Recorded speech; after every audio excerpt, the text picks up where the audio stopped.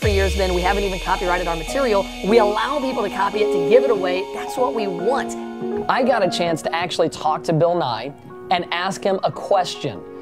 And in his question, he undermines the very concept of evolution and totally destroys the scientific backing for human evolution. Evolution destroyed. We'll get to that right after this break.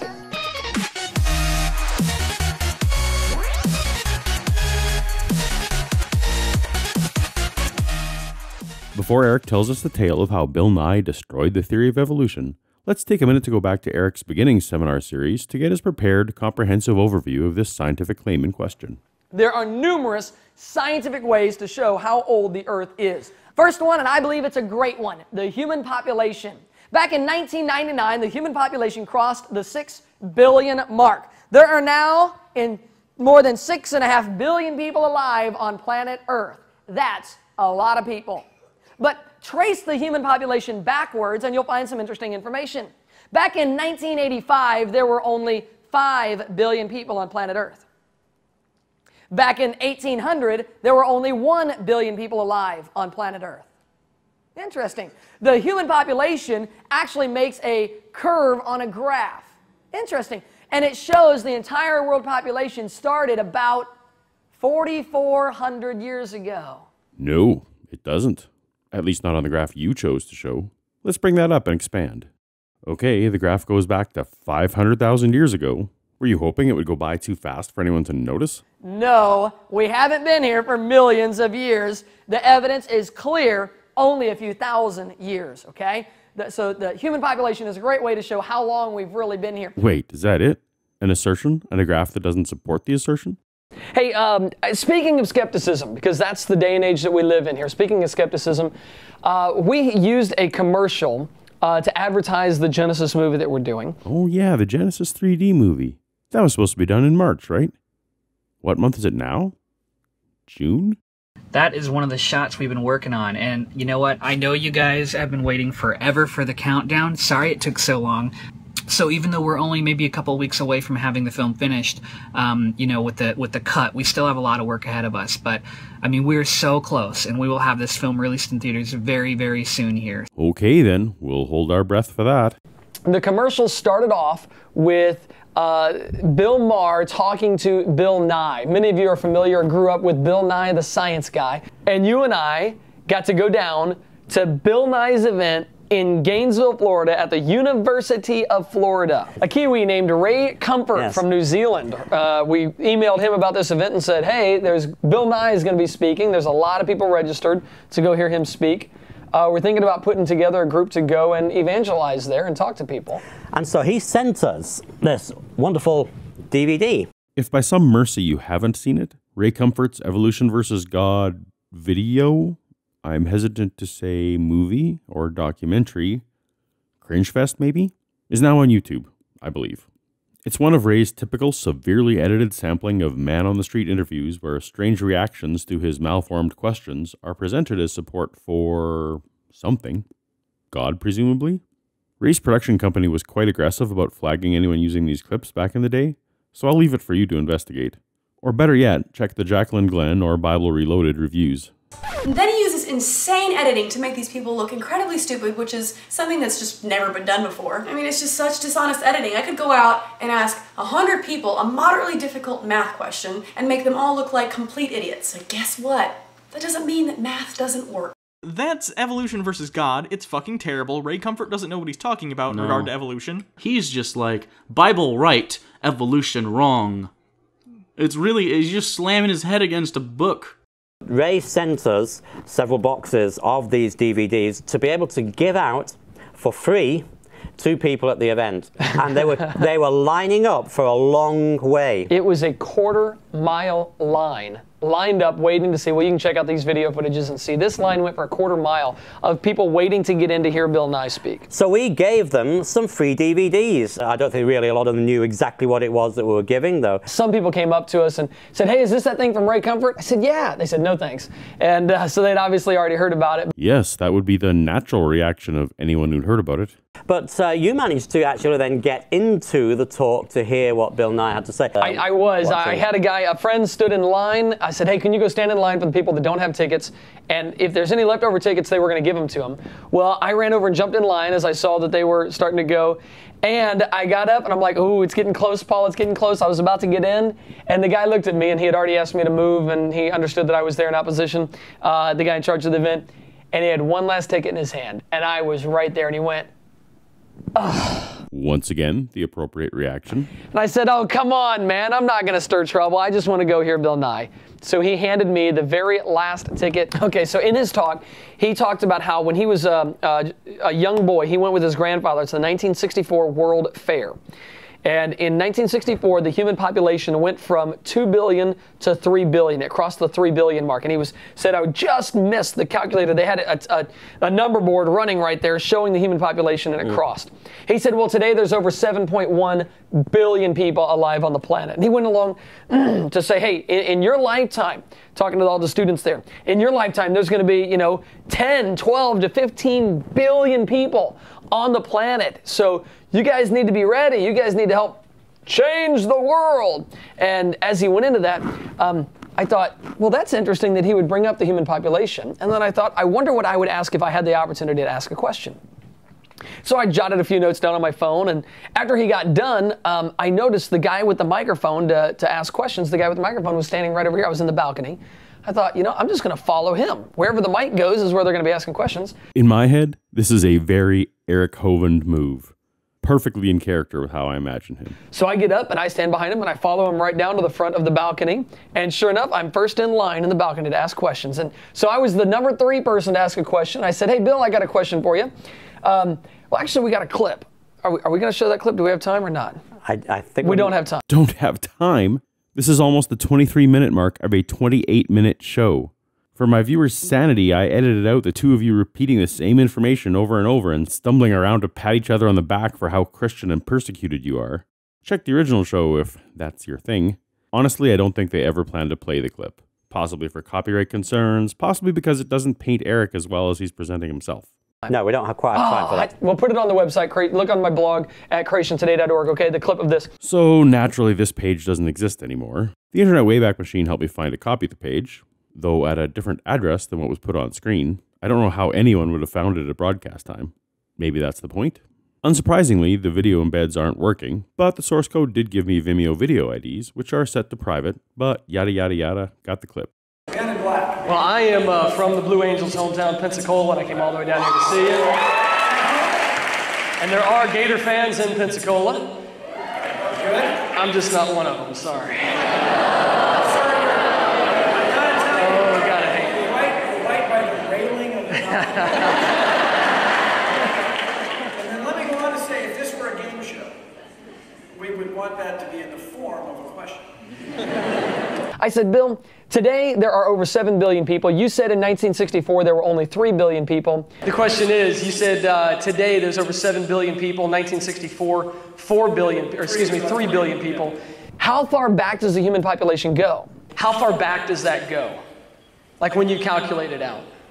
His answer? About 100,000 years. In my grandfather's time, there are fewer than one and a half billion. Right, so how far can you go back with that? If, uh, Uh, you can go back to about 100,000 years. Tribes in Africa and stuff. okay. What do you get? Yeah, and I said, well, I just, I'm having a hard time reconciling why is there only 7 billion people on the planet if mankind evolved 3 billion, or excuse me, 3 million years ago? I'm just getting at it. It's, uh, from what I've learned about evolution, we evolved, what, 3 million years ago, and how do we, how do we reconcile the current population with 3 million years of humanity being here? Uh, so, that's a very good question if I understand it. And your calculation, and, and the calculation obviously that uh, Bill Nye had done, is to do with how fast it takes for the population to double. The more you have, the faster there's more of it. And the, Isaac Newton discovered this and called it the letter E, Yeah. the natural logarithm.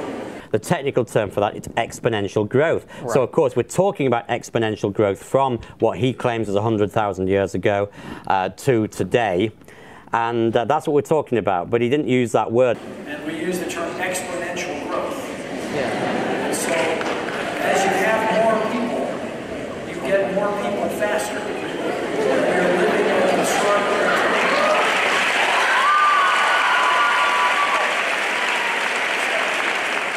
So let me ask you a question. And his question to you was Are you troubled by evolution? Let me ask you a question. Are you troubled by evolution? And I was like, what a perfect question to ask. I said, actually, yes, I am. Uh, I do believe that it has some serious scientific problems, yeah. And I went ahead and stayed within the science, because that's what he was dealing with. Yes. And I said, I don't understand, if we've been here for three million years, why there isn't exponentially more people than seven billion today. Okay, can you think of one? I think the human population being at 7 billion today instead of exponentially more is just one of them, yeah. And his answer was, I think you need to go back and study mathematics. So I, I really encourage you to take a time.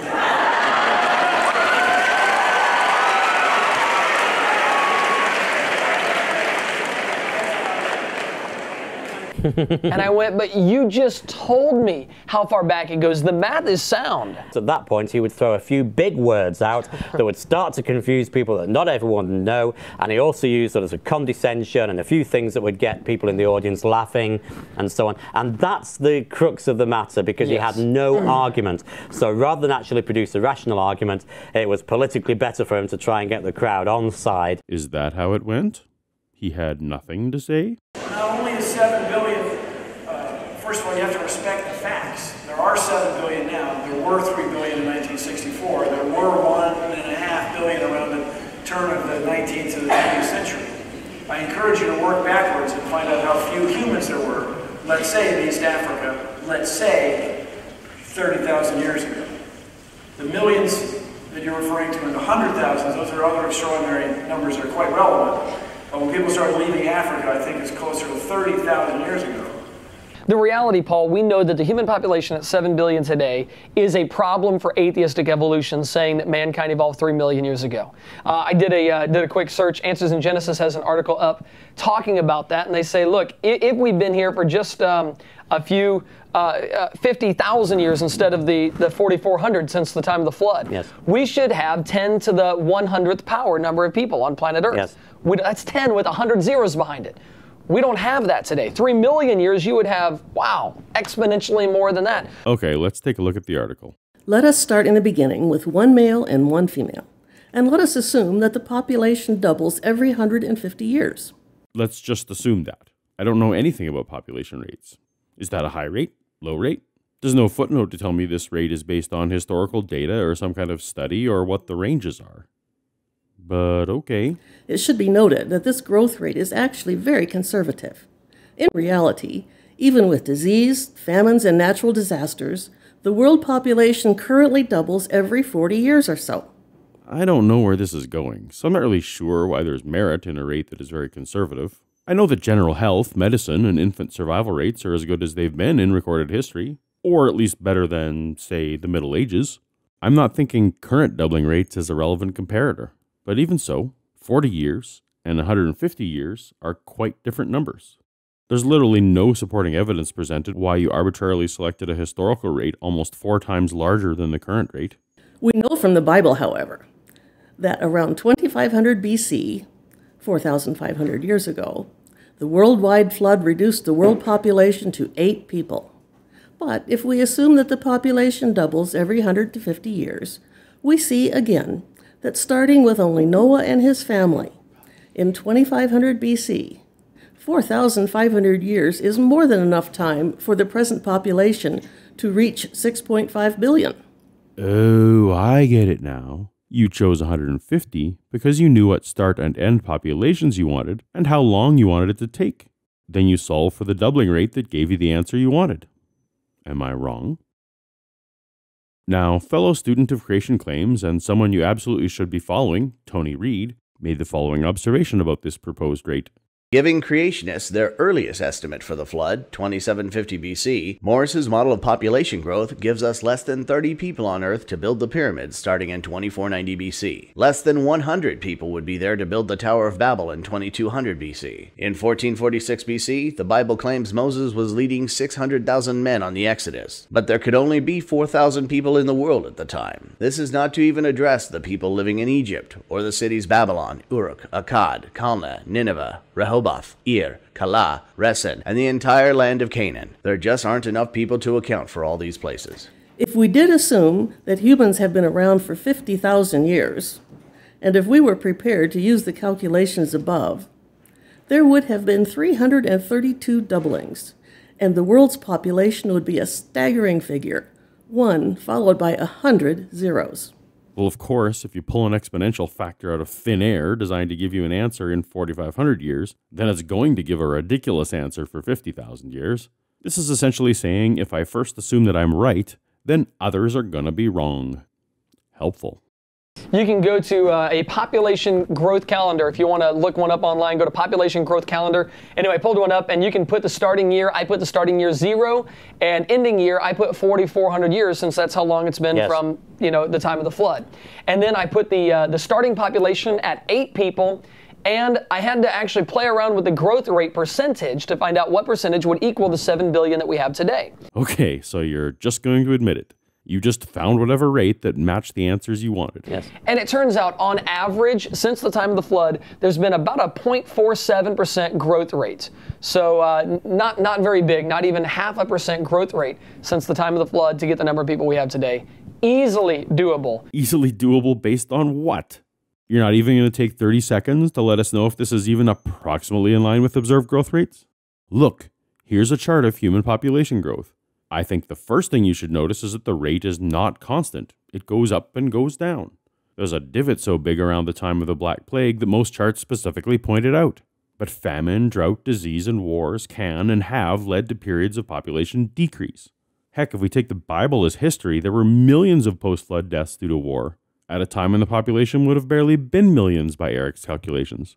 I must say, I find it quite amusing that creationists are so quick to suggest the radiometric decay rates, something that observationally has remained unchanged and reliable in the entire time we've studied it, and is essentially unaffected by outside factors.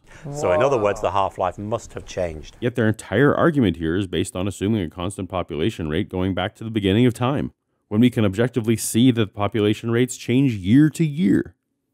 Is that observational science? Even if population growth rate was somehow constant and matched Eric's derived number, no population grows beyond the availability of necessary resources. Organisms are limited by space, food, and many other factors. A population without enough to eat does not grow. It's relatively recent agriculture, refrigeration, and transport technologies that have allowed humanity to access more than the immediate hunting and gathering available to most of our ancestry. Asking why there aren't trillions of people on the planet is ridiculous. I guess I should let Bill finish his thoughts from before. And I really, as I say to all of, to, to everyone who is troubled by evolution, what is it that's troubling you? That it's really not real, or you have some other source of information that you find more trustworthy than what in science we would call the science, scientific facts. So just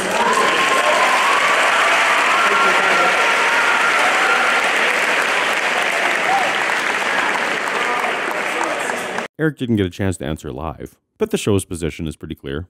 Trust in Christ and mm-hmm. trust in His Word, our ultimate authority. Believe what you like, but this idea about population is based entirely on stories in the Bible, flagrantly ignoring all of the objective data available. If you're interested in more on this topic, please check the description for links to excellent videos from Tony Reed, as featured, and of course, Classic Logicked. Wait a minute, wait a minute. What was that? And even declining in Europe. Populations decline? What heresy is this? Populations don't decline, they only go up smoothly so you can put them on a nice graph. Dummy. Thanks for watching, and a huge thanks to Lois Edwards for lending her voice. You don't know her directly, but she's my primary science checker for most videos, and has saved me many, many times. Before you go, why not subscribe to Paulogia to be notified of future videos?